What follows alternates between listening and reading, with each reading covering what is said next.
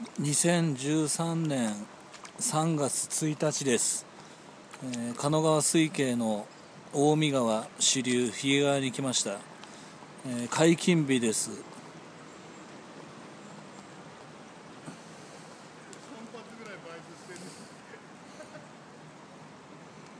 なんと早く2投目で来ました。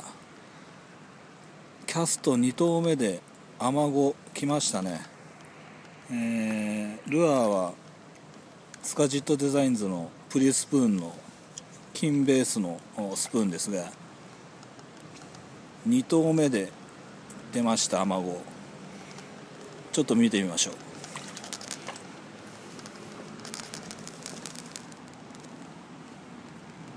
これですね。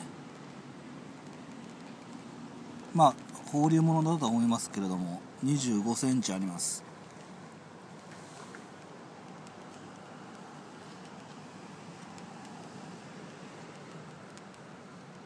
え今7時、えジャストぐらいですが活性高いです。